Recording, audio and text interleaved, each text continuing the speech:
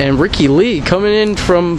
Ricky Lee, how do you feel about your match with uh, Painkiller tonight? I have to go see someone. No questions. All right, Ricky Lee over there.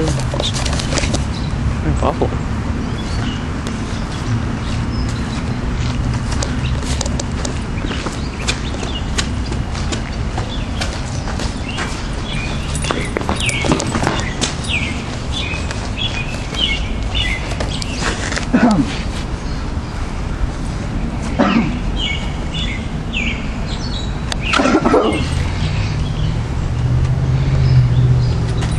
Yo, Cord, you've had some run-ins in the past, and quite frankly, you decimated me.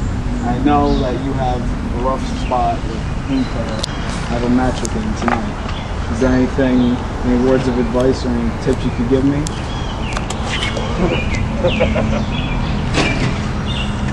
You want a tip? Do you? You want a tip?